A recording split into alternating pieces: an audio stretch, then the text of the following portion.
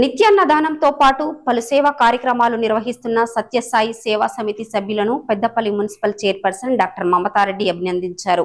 పెద్దపల్లి జెండా చౌరస్తాలో శ్రీ సత్యసాయి సేవా సమితి ఆధ్వర్యంలో ఏర్పాటు చేసిన చలివేంద్రాన్ని చైర్పర్సన్ మమతారెడ్డి ప్రారంభించారు.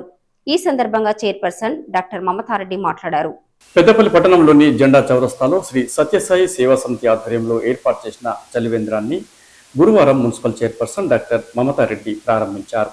ఈ సందర్భంగా చైర్పర్సన్ డాక్టర్ మమతారెడ్డి మాట్లాడుతూ పెద్దపల్లి పట్టణంలోని జెండా చౌరస్తాలో ప్రతి సంవత్సరం లాగానే సత్యసాయి ట్రస్ట్ ఆధ్వర్యంలో చలివేంద్రం ఏర్పాటు చేయడం జరిగిందన్నారు.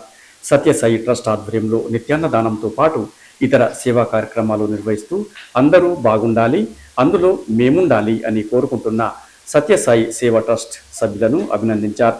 అలాగే ఉష్ణోగ్రతలు పెరుగుతున్నందున పగటిపూట బయటకు వెళ్ళకూడదని తప్పనిసరి పరిస్థితుల్లో వెళ్తే గుడుకు తీసుకెళ్ళాలని తగినంత నీరు సేవించాలని సూచించారు.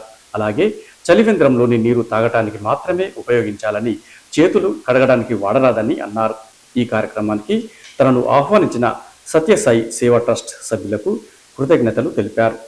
పెద్దపల్లి పట్టణంలోని జెండా చౌరస్తా కూడలిలో వేసవికాల దృష్టి పెట్టుకొని ప్రతి సంవత్సరం సత్యసాయిబాబా ట్రస్ట్ వారి ఆధ్వర్యంలో ఒక చలివేంద్రాన్ని ఏర్పాటు చేసి వస్తూ పోతున్న ప్రతి ఒక్క బాటసారి ఎటువంటి ఎండకు తట్ తావలేక క- కష్టపడుతున్నని వాళ్ళ కష్టాన్ని తీర్చడానికి సత్యసాయిబాబా ట్రస్ట్ వాళ్ళు ప్రతినిత్యం ప్రతి సంవత్సరం ఇది చేస్తుంటారు.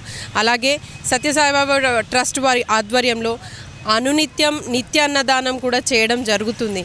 ప్రజలకు అందరూ బాగుండాలి అందులో మేము ఉండాలని మంచి ఆలోచనతోని అనునిత్యం ప్రజల కోసం తాపత్రపడుతున్న సత్యసాయిబాబా చారిటబుల్ ట్రస్ట్ వాళ్ళందరికీ పేరు పేరున అభినందనలు తెలియజేస్తూ ఈ ఈ వేసవి కాలంలో అందరూ మీ ఆరోగ్యాన్ని కాపాడుకోవడానికి దాదాపు రెండు నుంచి మూడు గంటల టైంలో అంటే బా ఎక్కువ శాతం మనం చూసుకున్నట్టయితే విపరీతమైన ఉష్ణోగ్రతలు పెరిగాయి. నలభై రెండు నలభై మూడు దాకా వెళ్తుంది పెద్దపల్లి కూడా. ఆ మీ క్లాసికల్ టైంలో రాకుండా మిగతా టైంలో హైడ్రేట్గా ఉంటూ అందరు చిన్న పిల్లల్ని గాడి హాఫ్ డే స్కూల్స్ ఉండడం వల్ల ఎక్కువ శాతం రోడ్లలో తిరగడం జరుగుతుంది.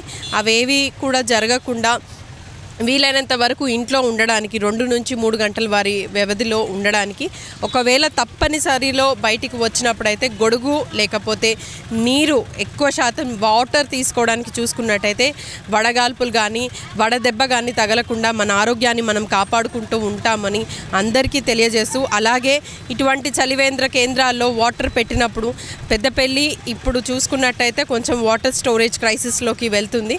ఈ వాటర్ని వేస్ట్ చేయకుండా వచ్చిన వాళ్ళు చేతులు అవి కడుక్కోకుండా తాగడానికి ఇవి త్రాగునీరు త్రాగు త్రాగడానికి మాత్రమే వాడాలని వారికి విన్నపిస్తూ సేవ్ వాటర్ సేవ్ లైఫ్ వచ్చే పక్షులకు కూడా నీళ్ళు అందించండి.